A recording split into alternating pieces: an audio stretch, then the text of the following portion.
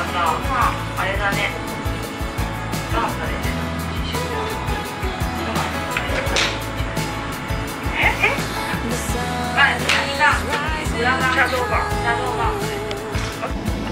As I walk on by your house today, I might knock on your door. 終わりましたって何がってね今日はあのー何やったっけ？脊椎セラピーまた行ってきたんです。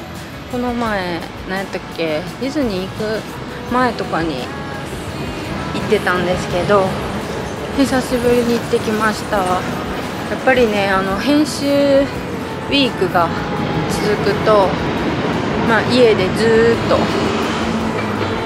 座って編集していることになるのであなんか悪くなってそうやなーと思ってて。で行きたいなーと思ってたんですけどちゃんが今日行っていいよって言ってくれたんで行ってきました。で今ちゃんは待ってる間は飲みに行ってる。いや飲んでないかもしらんけどとりあえず別行動してます。終わったので合流して何するかわからんけど。合流しようと思います。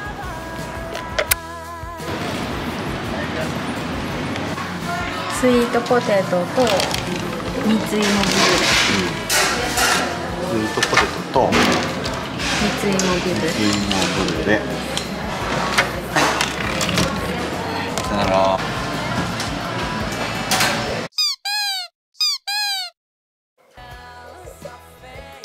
こんにちは、のうこです。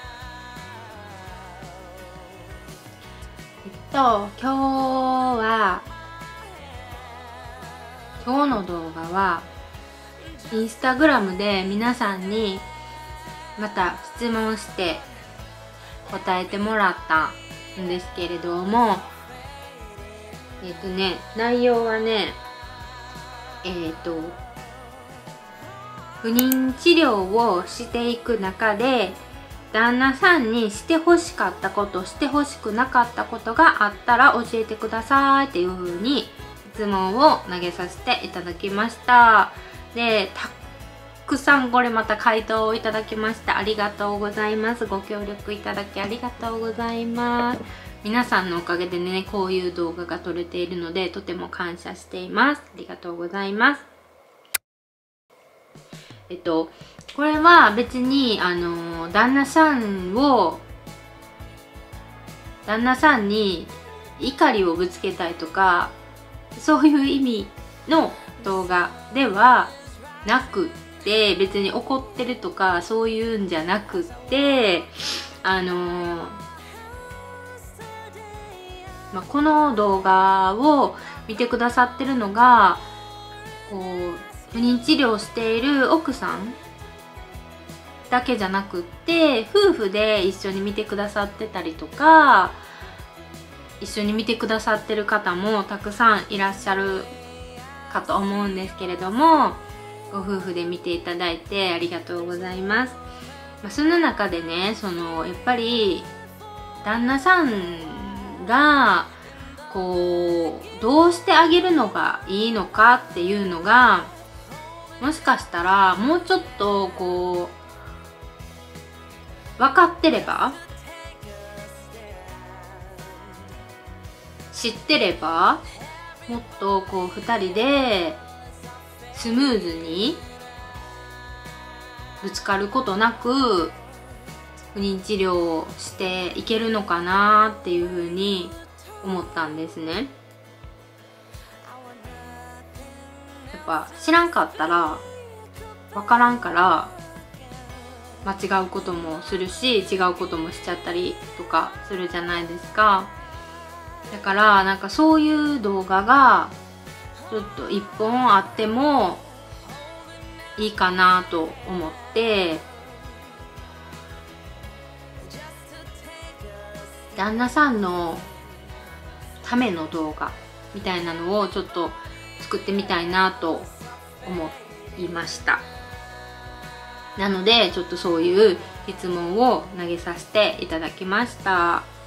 あのうちもね不妊治療をしていく中でめっちゃめっちゃ喧嘩したんですよ、まあ、最初は私もちゃんも、えー不妊治療をすることになるとは思ってなかったし体外受精じゃさじゃないと授からへんよっていうそんなことになることも想像をしていなかったんですね。でまあだんだんそういう現実を受け止めてきてでまあ私の方はやっぱ女性側やし自分の体に起こることやしいろいろ知識が増えていくんですよね。まあ私の方がこう時間があったりするから調べる時間も多いからねできちゃうからねいろいろ知識が増えていくっていうのもあるんですけどでその増えた知識をちゃんに共有していってっていう感じで、まあ、やってきてはいるんですけれどもその中でももちろん喧嘩はたくさんしたんですよ。私らも私ばっかり調べてるとか調べへんってことは興味がないってことなんかとかうーん。私は私も調べるしちゃんも調べる。多分調べ方がお互い違うと思うからそれぞれが調べたらそれぞれいろんな選択肢を持ってくることができるのにまあ、より良い治療ができるかもしれへんのに私しか調べへんってなったらその選択肢が狭まってしまわへんとかうーんなんか私ばっかりやってるなとかそういうのでほんま喧嘩してきたんですよね。そう。だからまあこれからね不妊治療をされる方とか今現在もしている方とかに、まあ、この動画を見てもらってるかと思うので、まあ、この動画を見てもらってその旦那さん側にしてほしいことしてほしくないことっていうのを奥さんはこういうのを思ってるんだよっていうのをちょっとでも伝えれば一つでも何かあって気づいてもらえればそういう喧嘩とかも減るかなって思ってそうなればいいなって思っています。知識があればねそういうのはやらんでいいからお互いこのストレスで疲れることもないしうんいらんストレスを受けることがなかったりね。旦那さんも怒られたりしたら嫌やろうしどうしどうしてほしいんかわからんわみたいな気持ちになってはるかもしらへんから、まあ、ちょっとでもこういうのを思ってるんだよっていうのを分かってもらえたらいいなと思って今日はお話をしていこうかなと思います。でほんまは、まあ、ちゃんも今日今日仕事なんでねいないんですけどちゃん側の意見とかも聞けたらよかったんやけどちょっといないのでこう奥さん目線奥さん側の意見みたいな感じになってしまうんですけどだからなんか旦那さん側男性側はなんかちょっともしかしたら嫌な気持ちになっちゃうかもしれへんけど別にめっちゃ責めてるわけじゃなくって前向きな方ねこういうのをしてもらってたら嬉しいよとかそういうことね。そういう風に捉えてほしいです。ちゃんがいないからね一方的になっちゃうけど。すいません。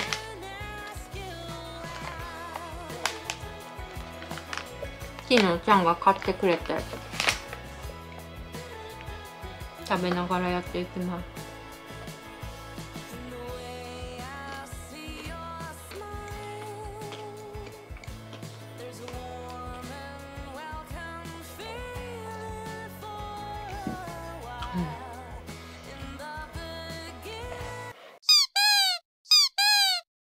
じゃあやっていくね。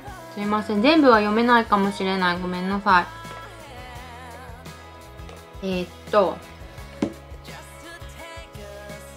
今今日病院どうだった？とか聞いてほしかったです。いつも自分から言っていたのでって。いうご意見がございました。こういう系ね割と多かったんです。病院行った日は今日どうやったって聞いてほしかった。知ってて何も聞かれないと孤独になるって。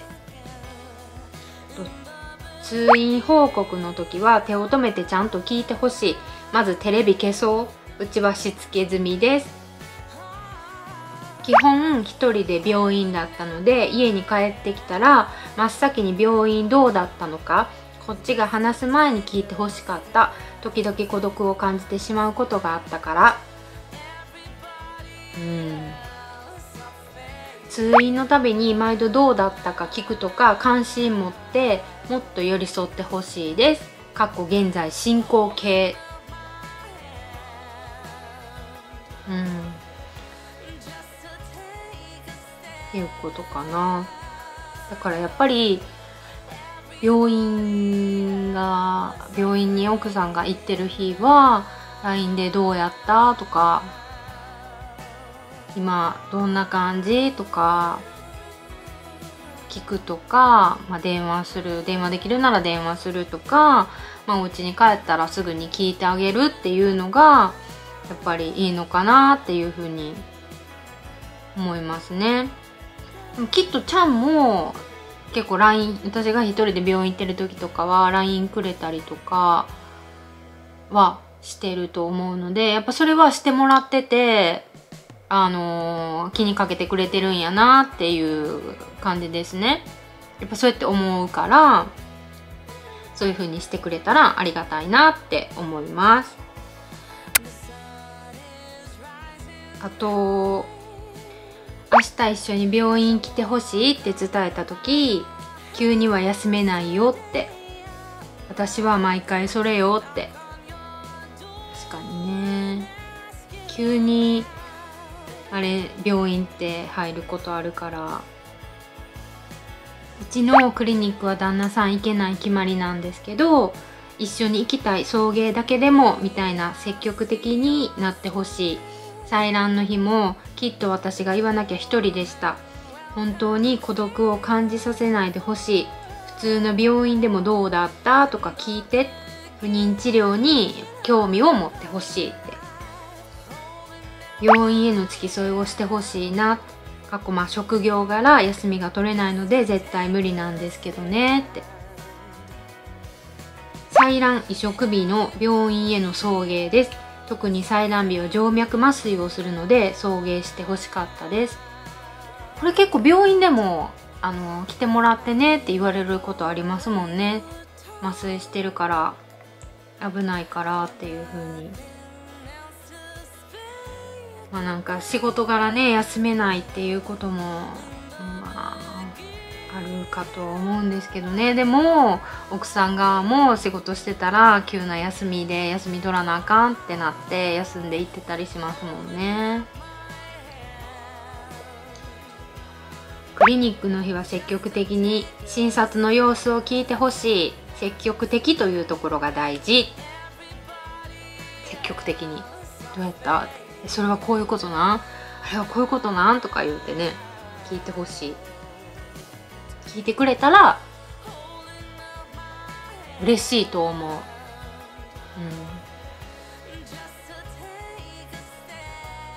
休ん仕事を休んでとまでは言いたくないけど採卵の時くらいは送り迎えをしてほしかった。病院に一緒に来て関係もありますよね。できる限りねできる限りのことをしてくれたら嬉しいなって思います。治療初期がコロナ禍で一人で通院してて検査の痛みとか辛さとかも分かってほしかったって。痛い検査採卵前の不安な気持ちもうちょっと寄り添ってほしい。何日も前からそわそわよって。移植日の日に何にも言われなかったこと頑張っての一言ぐらい欲しかった。移植後は言わなくても率先して家事やワンコの世話をしてほしかった。気づかないことが多くてって。そうですね。移植日はもうこちらも受精卵赤ちゃんを迎えに行くっていう気持ち迎えに行くで連れて帰ってくるっていう気持ちになってるんでね。迎えに行くっていう気持ちになってるから。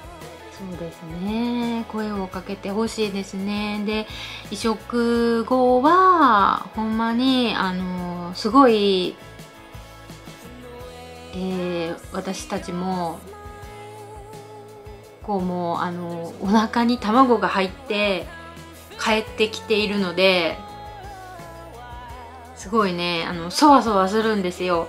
ちょっとしたことでもすごい気使うようになるんですよ。ないもう言うたら歩き方でさえね。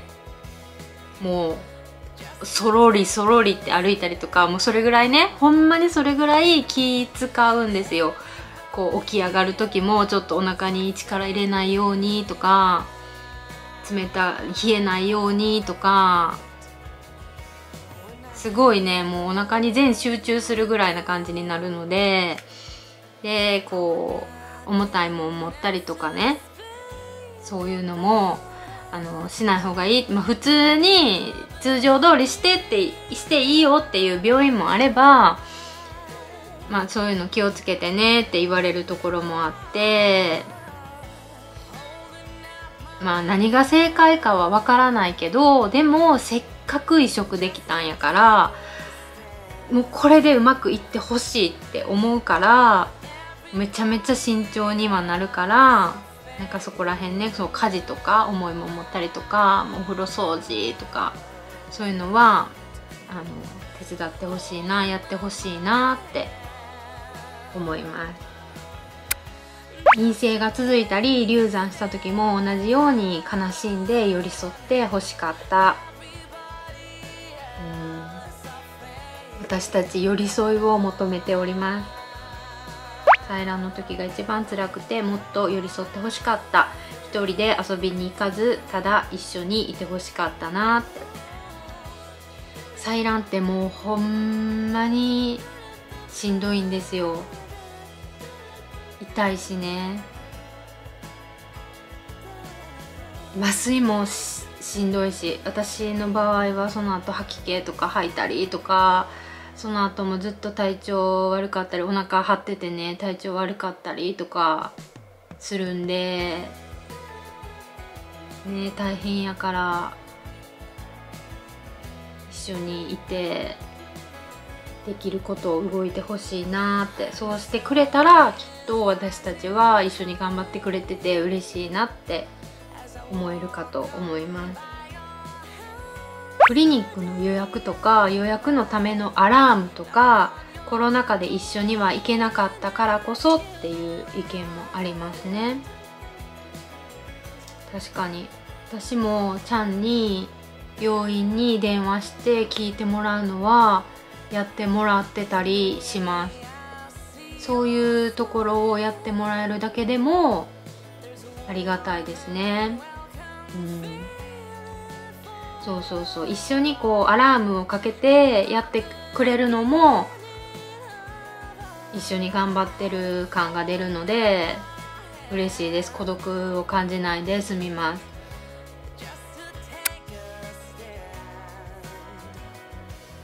あとはもっと親身になってほしかった。うちは男性不妊だったのにどこか他人事でって。うん。なんかね他人事に感じちゃうことも結構あるんですよね。やっぱり喋り方とか態度とかそういうのやと思うんですけど。うーん。あとねしてほしかったことは自発的に治療のことなど調べてほしかったです。多分ポイポイントは自発的にっていうところやと思います。うん。わからないではなく調べるか聞くか理解だけはしてほしかった。でもしてくれたって書いてる。やっぱしてくれたら嬉しいんやと思いますよ。嬉しいですもん。してほしくないことで、えー、と携帯触りながらの会話。ちゃんと私の話聞いてってなりますって。ちゃんと聞かないとなんかあのまた人事やな言うて思われると思います。妊活をするにあたって自分で妊活とはどういうものか調べてほしかった。今では理解あるけど最初私が調べてお願いしてる感じで一緒に頑張ってる感じがしなかったって。やっぱそうですね。治療について自分でも調べてほしかった私に聞くばかりで頼りなかったので。一緒になっていろいろ調べてよく理解してほしかったかっこ現在進行形です。治療についてもう少し興味知識を一緒につけてほしかった。とにかくちゃんと話を聞いてほしい。旦那さんが参加できないタイミングでの送り迎えや自発的な治療経過の確認が嬉しかったです。いろいろと一緒に調べてほしかった。治療方法などこちらに丸投げするのではなくて一緒に考えながら同じ方向を向いてほしかった。もう少し内容を理解しようと勉強してほしかったかな。でも話を聞いて寄り添ってくれることが一番。服服？服薬や 服薬や同意書などのチェックを一緒にしてほしい。2人の治療なのでなのに1人かっこ孤独に思う時があるって。確かに。これは私もしてほしかった。です。薬の確認とかまあ同意書のチェックね。同意書のチェックもはもう絶対ちゃんにも呼んでもらう。うんこれはしてほしいですね。薬とかのその管理はほんまになんやろ。忘れたら今までの努力が水の泡みたいになることもあるんですよね。これを飲み忘れたらあかんとか。あと朝昼晩って結構大変やし、何時に飲まなあかんとか1日おきのやつとか。もう結構ほんまに大変でこう一人でやってるとそれが結構ねその間違ったらあかんとかがプレッシャーにもなったりするから確認の意味でもやってくれたら嬉しいなって思いますね。まあ、1日3回とかやから結構大変やとは思うけどでも私とちゃんも点鼻薬の時とかはやっぱ忘れたらあかんかったからやってましたね。私もその時は仕事をしてたりしたので仕事してるとこういつの間にか時間過ぎてたりするからちゃんにもアラームをかけてもらって言ってもらったりしてました。でちゃんと終わったらやったっていう報告をするとかね。そう。でもやっぱその時がなんやろうなやっぱ2人でやってるっていううん安心感。かこうどっちかが忘れててもどっちかが覚えてればフォローできるとかいうのがあるからそれを奥さん一人だけに任せてしまうってなるとやっぱり孤独を感じるし私だけが頑張らなあかんやんってなっちゃうかと思います。なのでまあそういうのもやってもらえると嬉しいなって感じです、うん、あとはね私は卵の質アップのためにダイエットをしていたのですが夫にも付き合ってほしかったです。体型に関して言われるのは本当に嫌でした。痩せた方がいいのは自分でも分かってたし努力してたので指摘するじゃなくてダイエットに協力してよって思いました。私は体質改善してたけど夫はそのまま男性不妊やったのにでも授かりました。体型のこと言わないでプラノバール初めて7キロ太った。こっちは妊娠するために薬飲ん飲んでるんだぞ。体型だけは妊婦さんだねっていうデリカシーのない発言。本物の妊婦さんになりたいんだって。ねえ。不妊治療中一緒にダイエットしてほしい。私が頑張ってる時に横でカップラーメン食べないでほしい言うて。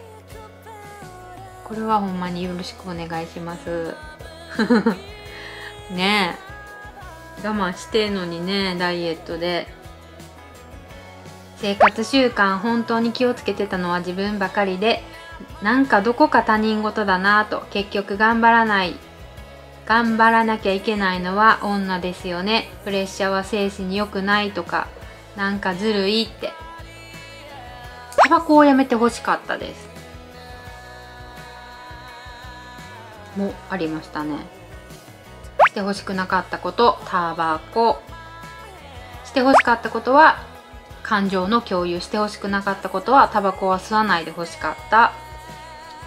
禁酒禁禁煙禁酒とか気にかけてほしかったかな。その他は協力的でした。うん。ちゃんもねタバコ最初出会った時は吸ってたしお酒ももちろん今も飲んでるんですけどまタバコもお酒も出会った頃は絶対にやめられへんって言ってたから、まあ、それがちょっといつのタイミングやったかは忘れたけどまあ多分私が言ってたんやと思うんですよ。そそのやめてやめてっていう風には強く言ってはないんですよ。あのうちも親がすごい親とかおじいちゃんとかがすごいヘビースモーカーであのやめられへんっていうのを知ってたからそんな簡単にやめれるもんじゃないっていうのは分かってたからちゃんにも別にそんな強く言わなかったんですけどちゃんはやめれた。うん、でもたまにやっぱり吸いたくなるっていうのは言ってたりとかしますね。で誕生日の日だけ吸ったりとかしたりはしてます。うんやっぱやめられへんもんなんですかね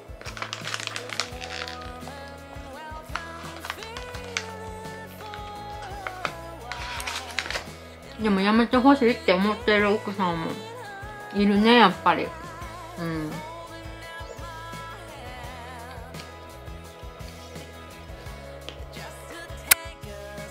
あとはね移植後の家事特に洗濯をしてほしかったですって。具体的に言ってくださってるわ。洗濯って。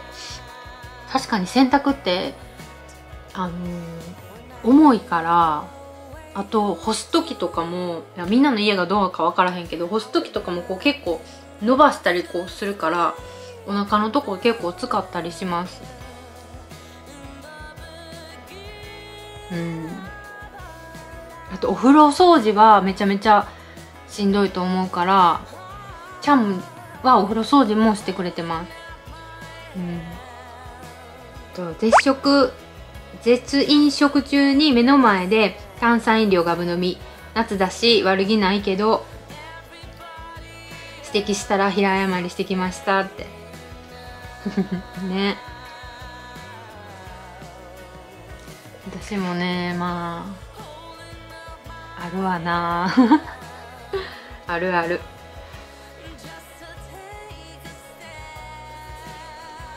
私もだって病院さ行く時にさ絶飲食の時とかにさちゃんはさおにぎり食べたりパン食べたりコーヒー飲んだりしてたりするもん。まあいいねんけどって感じよね。いいねんけどさみたいなでもこっちはできひんのに食べられへんのに飲まれへんのにみたいになりますよね。体調悪いって訴えた後にスマホゲーム悪気はないんでしょうけど悲しかったですって。これはもうタイミング悪しって感じでしたね。まあでも確かにそうやんな。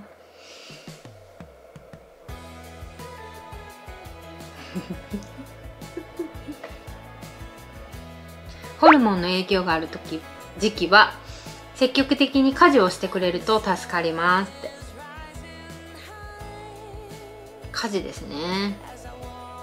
奥さんを優先してくれたら行動すべてしてほしいことになると思います。一一番優先して言うて。病院でのことや治療の大変さなどを話した時大げさなぐらい共感してほしいといつも思いますって。オーバーなリアクションをお願いします。でもそうやってさやってくれることでさなんかこうお笑い笑いに持っていってくれたらさやっぱ笑いも出るしね。大事ですよね。おお面白い方向に持っていくのも。まあでも、まあ、これもまたあるけどね。いろいろ。いやそこをふざけるとこちゃうっていうところもあるから 難しいとは思うけど。あともう少しいたわってほしかった。2人で治療してるしてる自覚持ってと思ってたって。不妊治療してると精神的に辛くなって旦那に当たってしまった時に旦那も激怒して大喧嘩って。わかります。なんかねこっちももうまあそのなんかホルモンを注射されたり薬を飲んだりいろいろしてるんでね。あと不安にもなったりとかするんでね。感情の起伏が激しくなったりするんで。でもうこう言えるところが旦那さんしかないってなったりもするからね、まあ、その旦那さんもいろいろあってその両方がカチンってなってめちゃめちゃ大喧嘩ってなってしまったんやと思うんですけどうちもねそういうことはもう多々あります。まああの嫁側はあ言い過ぎたないらんこと言ってしまったなっていうのはあの思ってはいるので申し訳ないなと思ってはいるので怒りを鎮めて優しく接してくれたら嬉しいです。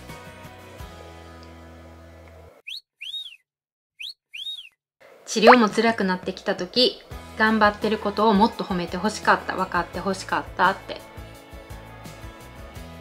褒められて嫌なことはないので、えー頑張ってくれてるねありがとう言うてください。そしたらうんってなってまた頑張れるってなることもあるかと思います。治療に煮詰まらないように一緒に気晴らしをしてほしい。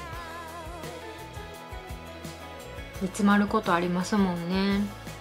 だから気晴らしに何々しに行こうとか言ってくれたら嬉しいですよね。してほしくなかったこととしてリセットするたびに自分以上に落ち込むこと主人が落ち込むたび自分が悪いことをしているような感覚になかなった。申し訳なさを感じた。ってなるほど。自分以上に落ち込むとそっか。申し訳なさを感じてさらに感じちゃうってことですよね。リセットしたらくよくよせず明るく乾杯と一緒にお酒を飲むのが決まりでした。今ではいい思い出。不安や辛いことを聞いてほしかった。聞いてくれた。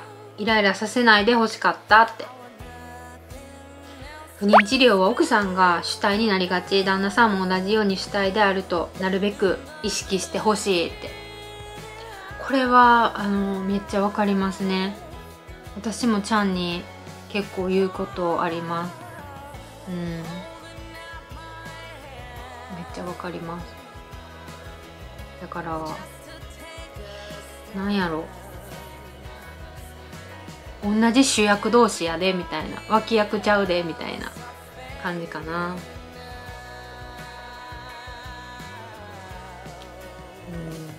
て思っちゃいますね。あと常に優しくって。常に優しくしてほしいってことかな、うん、ね頑張ってる時は優しい気持ちでいてほしいなって思いますよね。タイミング法の時に日にちを伝えたら嫌な顔されるのは本当に腹立ちました。今は大概挑戦中ですって。なるほど。タイミングの時ね。不妊治療かっこ体外受精してるからといって夜の営みしなくていいわけじゃない。って確かに。あのー体外受精やったとしても夜の営みは大事っていうのを私も聞聞いて聞いてるので夜の営みは大事ですね。大事です。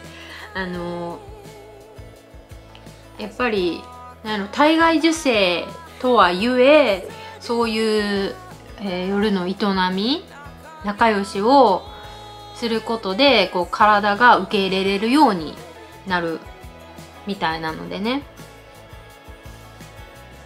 あの時時を合わせるっていうのも大事みたいですよ。まあなんかやったらあかん。性行為しないでくださいねっていう期間も結構あったりするからできないとかもあるかもしれないんですけどね。ここはあの大事なことやと思います。しっかりタイミングの日を自覚しててほしい。何日前だよ明日だよと伝えなくても覚えててって。これもねめっちゃわかります。私も自分らでタイミング取ってた時は言うてた。言うのもほんまに正直嫌やから言わんでもいいようにもう毎日お願いしますっていう気持ちでいてましたね。この日とこの日にタイミングやこの日に人工授精だからねって伝えたら機嫌が悪くなったり態度が悪くなったりすること旦那さんから不妊治療を受けてきたのに2人で決めたことなのにって。うーん。なんかあるんかな？難しいけど。でも機嫌悪くな言う言ってたら機嫌悪くなったり態度悪くなったりされるとえ？じゃあやらんでやりたくなかったってこと？ってなりますもんね。でその後のさ雰囲気も悪くなるから。ね。どうしたもんかいな思ってしまいますね。体の心配大丈夫？ってもっと心配してほしい。声かけしてほしいってことですね。声かけしてほしいです。一人子供いてフルタイム勤務で体外受精の治療で成果が出ない時頑張ったって言ってほしかったって。うん。あー大変な状況でね体外受精されてるんですね。まあそれはもう頑張ったねってってほしいですね。認めてほしい。頑張ったね。で頑張ってくれてありがとうって言ってくれるだけでもう全然違うのにな。言ってもらえたら嬉しいのでよろしくお願いします。ちょっと充電さしました。考えとるんかわからん。だんまりかなっていう意見もありました。確かに。問いかけてもずっとだんまりな時ある。聞いてる？みたいな。え？どう思ってんの？みたいな時ありますもんね。思ってることを言ってほしいってことですよね。つら痛いことも辛いことも治療するのは私で2人のことなのに1人で頑張ってる気がしてましたね。長年治療していると通うことが当たり前になってきて私がクリニックへ行ってことすら行ったことすら知らない日もあってなんか私の子供ができるのをサポートされている気分だったな。コロナ禍で付き添い通院ができなかったから余計に一人で頑張ってた。だからもう少し寄り添って自分には何ができるのか努力してほしかった。自分から何か行動を起こしてほしかったかな。興味あるって何回聞聞いた気がする。何回か聞いた気がする。言えば分かってくれるんだろうけどこっちはメンタルやられてるからね自分のことでいっぱいいっぱいなんよって感じかなって。うーん。確かにね。もう長年言ってるとそれがなんか当たり前みたいな感じになっちゃってるんかな。寄り添い？寄り添ってくれ寄り添ってくれたら嬉しいかなあとやっぱり自分からできることを自分からの行動が欲しいっていう気持ちが妻側としてはありますね。うんそれが結構多いかな。うん。ね旦那周りの夫婦の妊娠報告いらなかったですとか入山直後に夫の友人の奥様の妊娠を知らされた時はもうしばらく黙っていてほしかったなと思ってしまいました。私が勝手に傷ついただけではありますが夫との温度差を感じて余計に辛かったですって。うんやっぱりこれはねなんか聞いて何にも思わない人もいればやっぱり聞きたくないって今じゃないってなる人たちもいるし逆に隠さないで欲しかったっていう人もいるしこれはちょっとね人それぞれやから一概にこうしてほしいですああしてほしいですって言えないけどまあでもちょっとこう見極めというか今言って大丈夫な時かなとかそういうちょっとした配慮が見えると違うかなっていう感じには思います。難しいと思いますけどねこれは。うん。それぞれやからねそれぞれで違うからね。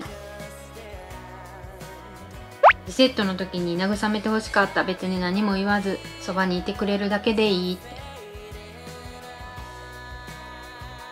リセットってもうほんまに悲しいですからね。うん。今までやってきたことが無理やったんやってなる瞬間ですからね。それがこう毎月あったりとかするから。何回にも何回もになってきたらもうほんまに辛いし悲しいしもういつになったらとかほんまにできるんかなとかそういう気持ちになってきちゃったりもするしいらん方向いらん方向っていうかもうどんどんどんどん落ちていっちゃうからそばで支えてほしいなって思います。ホルモン補充でイライラすることを理解してほしかった。シート法などももっと勉強してほしかったって。してほしかったことかな？してほしいはスケジュールの把握？してほしくないは周りに治療のことを言うこと？スケジュールの把握は確かにしてほしいですね。してくれたらめちゃめちゃ嬉しいですね。うん。これはなかなか把握してくれてる旦那さんはいないのかな。私もカレンダーみたいなのを前の病院をもらってたからこの日これこれこれみたいなのを。だからそれってなんかメールでもらうこともできたんですけど、まあ、メールでももらいつつ私は冷蔵庫に貼ってちゃんにも見るようにはしてもらってた。これ今日これとこれでやったけどそれだけで合ってるとか。他にすること忘れてないかなとか今日これで合ってたとかそういうのを一応ちゃんにも見るようにしてもらってた。うん、してほしいこととして心や体調面をもう少し気にかけてほしいって、うん、移植後慎重になりすぎて車椅子を押して迎えに来られて恥ずかしかったですって。めっちゃ可愛いですね。車椅子で来てくれたんや。でも確かになんか私も子宮筋腫の手術をした後はめちゃめちゃ体力が落ちてて痛いしあのお腹バーン開けてるからね。だからなんか退院してからスーパー行った時ももう歩けなくなってて長い間。車椅子に乗せてもらってました。ありがたかった車椅子。こんな感じかな。なんか全部はあの読めてはないんですけれども結構主に多かった意見がこんな感じでございました、まあ、あんまりねいっぱい言い過ぎても 旦那さんもパンクしちゃうかなって思うのでまあでもうん大体寄り添ってほしい。あと自ら調べたりして不妊治療のことを理解して把握してほしいみたいなことかな。家事手伝ってほしいとかね。移植後ね。うん。まああの2人でやっていくことやからね。ことやと思ってるから私は。でそうやって思ってるご夫婦も多いかなと思うので、まあ、不妊治療ってほんまにあの出口見えへんし出口があるのかどうかもわからへん。すごい精神的にしんどいお金もしんどい治療やと思うのでまあ夫婦一緒に同じ方向を向いて一緒の熱量で頑張れたらなと思いますね。でこの動画を、まあ、ご夫婦とかで見てもらってちょっとでもあの旦那さん側にあこういうことを思ってるんやなとかあこういうのを気をつけた方がいいんやなとかちょっとでもなんか気づいてもらえてあの仲良くね夫婦不妊治療していけるようになったらもうめちゃめちゃ私も嬉しいです。